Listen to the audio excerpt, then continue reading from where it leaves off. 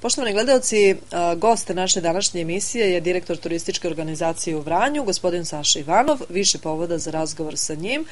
Ja ću mu poželiti dobrodošlicu, dobar dan. Dobar dan.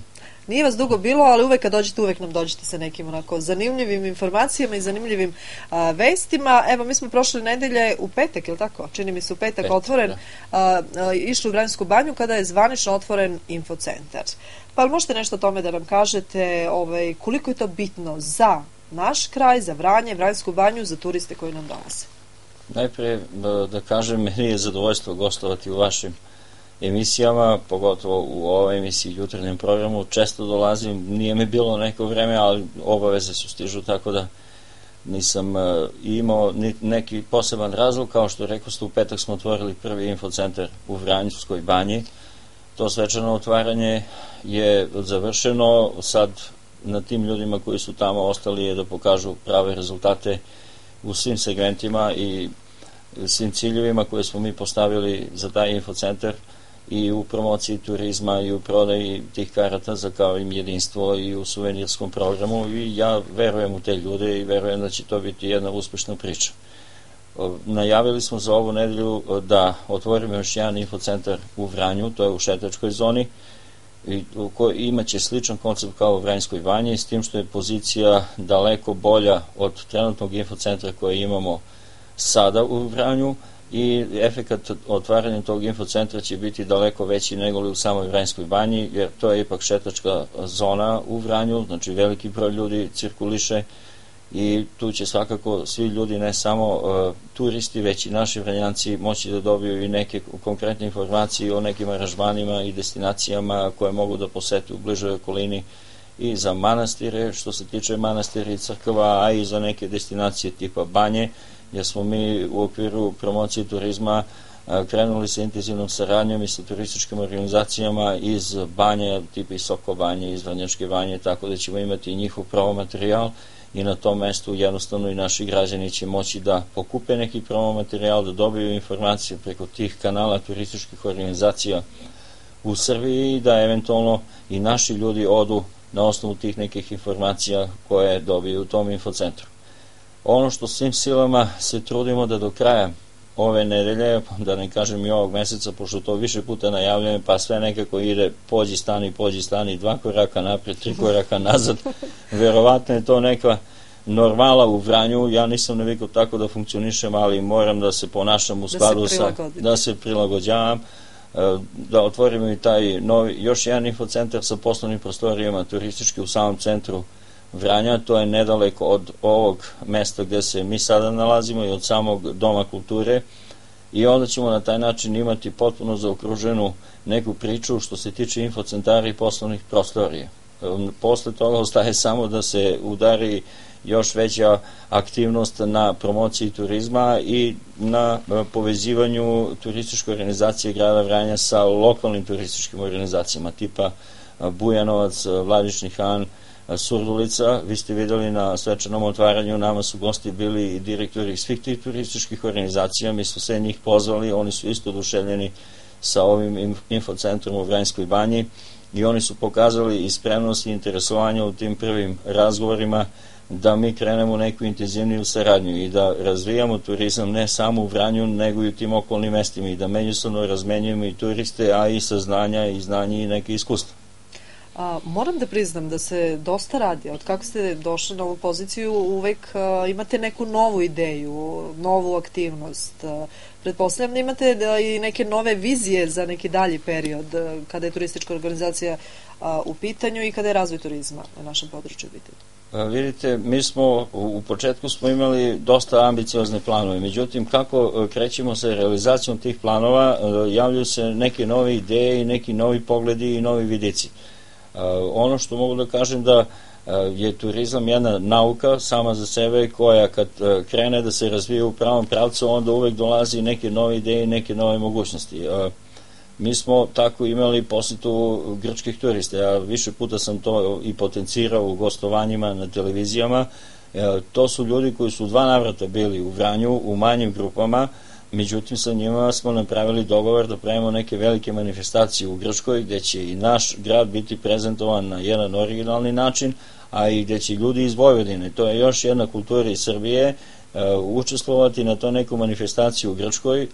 Ne bi sada pričamo o tome zato što se vode ti završni pregovori da se sve to izdogovara i organizuje u vreme kada naši ljudi letuju u tom grčkom gradu, tako da ćemo mi i u tom segmentu promovisati vranje i van granica. Ono što je isto po meni malo čudno, bilo je dani vranja u Beču, i na tim danima vranja u Beču mi recimo kao turistička uopšte nismo imali pojma da se to uopšte događa ili se nešto dešava.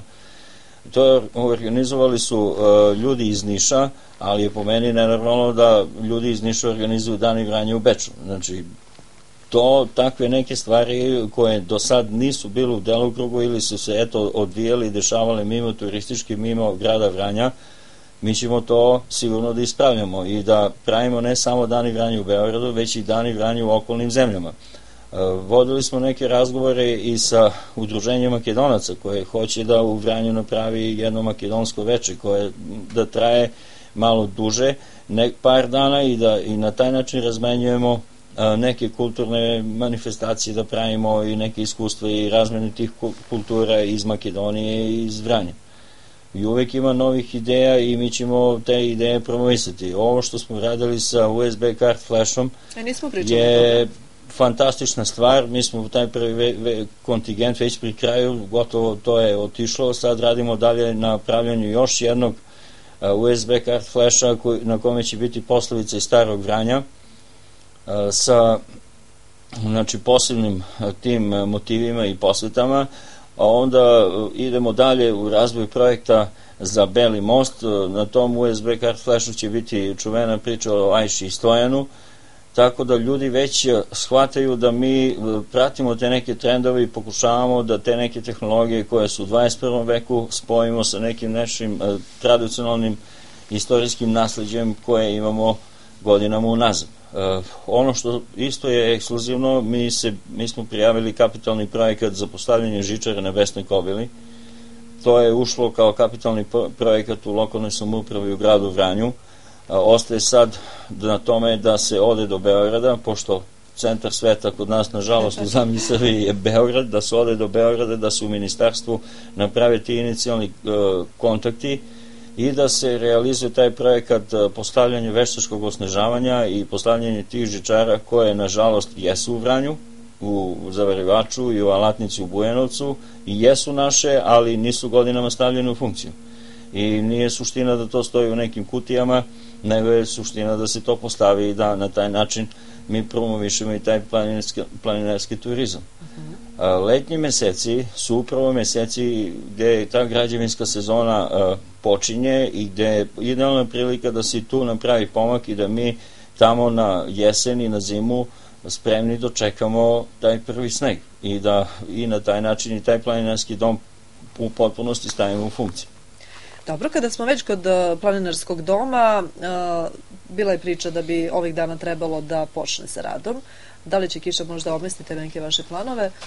Znate šta, e, razvoj turizma u Vranju, kao što vidite i sami pratite nas e, i ja se zahvaljujem na tome, uvek prati kiša. Kad god pravimo neku manifestaciju, ono padne kiša, fija kerijala, kiša i tako dalje. Ko zna, to je, zašto je to dobro i što to zna, znači? Tačno, verovatno je dobro i bit će još bolje. ovaj, tako da i, i taj neki plan da od ove nedelje, od danas, e, krene smešti tih radnika iz preduzeća koje radi asfaltiranje, se realizuje, zbog kiše možda će biti dan, dva odloženi ti radovi, ali će sigurno se e, što pre krenuti u asfaltiranje, oni su bili kod e, nas u turističkoj na razgovore, mi ćemo ih smeštati u planinarskom domu, nudit ćemo usluge smeštaja i ishrane, a to je ujedno idealna prilika da i stavimo polako dom u funkciju i za građane Vranja i u toj prvoj fazi će biti oni smešteni i radit će se ishrana za te radnike, ali ćemo svakako vrlo brzo osposobiti dom da mogu i ljudi u dane vikenda da dođu i porodično i da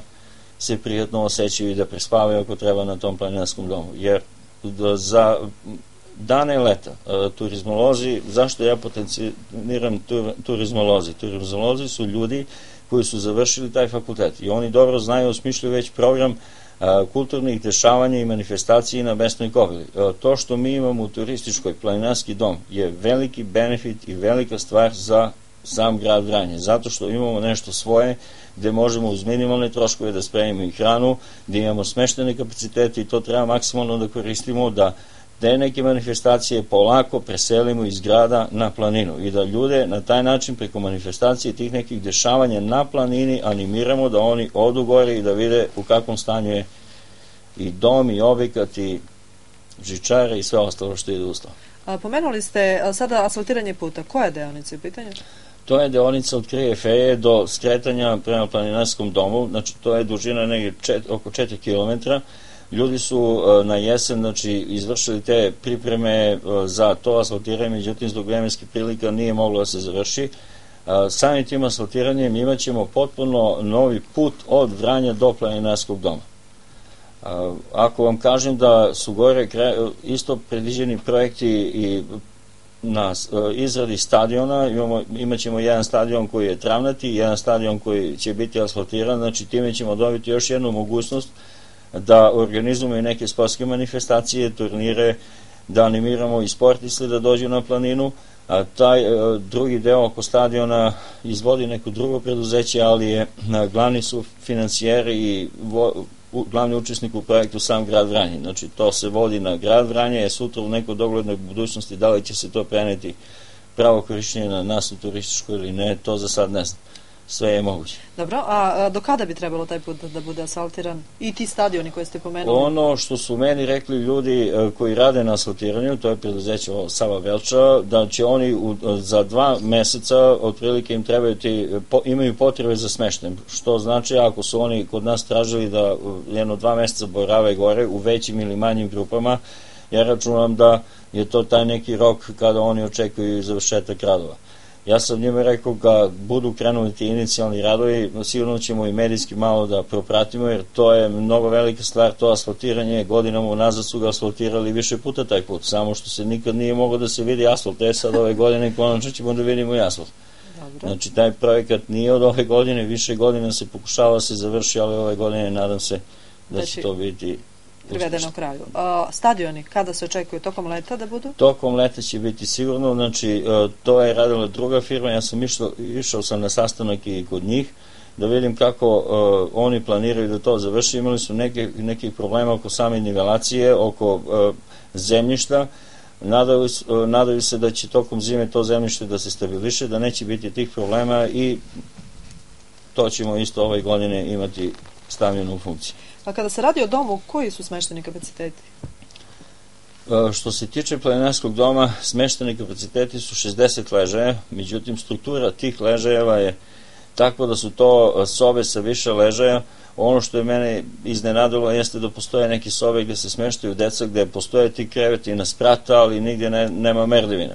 Što je bilo neverovatno i onda sam ih ja pitao, pa dobro, ako dete noću ustane i treba da siđe, onda pa selimo merdevine i sobe u sobu. Znači, e, te neke sobe koje su bile sa veći broj kreveta morat ćemo da menjamo. Znači, strukturu tih soba ćemo sigurno menjati, jer ako porodično dođu ljudi, osim ta dva apartmana koje imamo, koji se kao nazovu apartmani, a u stvari mi nisu apartmani, a mi moramo da omogućimo porodic, porodicama da imaju uh, još šest ili sedam tih uh, soba, tipa apartmanskih, to će biti u stvari sobe sa francuskim ležajem, gde ćemo moći da smeštamo uh, goste koje, uh, da nisu to veće grupe, nego porodični ljudi. Ako ja dođem sa porodicom, meni će za porodicu trebati smešta u jednoj malo veće sobi, a ne da se svi smeštamo po neki spratovi, da padamo i da pozemljujemo neke merdevine tamo vamo. Smešteni kapacitete mi nažalost nećemo ići u tom pravcu. Znači razvoj planine Vesna Kobila nije, ne ide se u pravcu da se sad prave novi hoteli, da se proširava smešteni kapacitet, da se postojeće stanje dovede u funkciju, promeni struktura soba, da to ima neki smisao ići će se sigurno u delimično proširavanje e, ugostiteljskog dela, znači restorana, zato što je sad muka kad dođe malo veća grupa ljudi, onda se postoji red čekanja. Kao u novo vreme inflacije kad smo čekali za lebac, tako sad čekamo da uđemo unutra i da sednemo i da nešto prezalogajimo. Tu ćemo ići u proširenje tih kapaciteta što se tiče restorana, doma ne, postojeće stanje ćemo zadržati, a glavni cilj jeste postavljanje žičara. Zato što sa postavljanjem žičara mi ćemo dobiti prema informacijama tih stručnih timova koji rade na tome, 12 km staza, sa veštačkim osnažavanjem produžit ćemo tu ski sezonu i to je suština. Ljudi dolaze na planini da bi se skijali. Dolaze iako imaju neke druge zanimljive stvari u toku leta, ali sve ostalo će doći samo po sebi kad se budu postavili žičare i kad se budu postavili ski liftovi. Dobro, evo, vi žurite. Vi sada, čini mi se da putujete i da odlazite baš do planinarskog doma? Tako je, znači, posle ovog razgovora i gostovanja u ovoj emisiji, znači, ja već moram da idem na planini, zato što uh, imam ja dobre saradnike, ali takvo je vreme da moramo da iskontrolišemo sve i da za te ljude koje upravo i rade na tom asfaltiranju da omogućimo normalne uslove, jer svi se oni pitaju što se dešava, dugi je period, da li je dom srušen, da li je pao, da prokrešnjava i tako dalje, oni veruju da neće biti problema, imali su dobru saradnju sa prethodnim rukovodstvom u tom delu oko smešta i ishrane, ali evo i posle ove emisije već idemo na planini da pravimo taj prvi koncept za tih prvih nekoliko dana preživljavanja ili funkcionisanja u domu. Da li to znači ukoliko danas kiša prestane, da dom faktički počinje da radi, znači asfaltiranje se nastav, po, počinje, znači sve je povezano nekako. Sa e, poboljšanjem ovih vremenskih prilika ljudi će krenuti, znači sa izvođenjem tih radova oko asfaltiranja, a samim tim će i dom krenuti sa funkcionisanjem. Dobro, to je to. Neću vas zadržavati više, hvala vam na divnom razgovoru i hvala uvek ste nam dragi gost. Očekujemo vas ponovno. Hvala. A, eto, poštovani gledalci, Saša Ivanov, direktor turističke organizacije, bio je gost jutarnjeg programa. A, čuli ste dosta novina, dosta ambicioznih planova i mi nastavljamo dalje sa našom emisijom.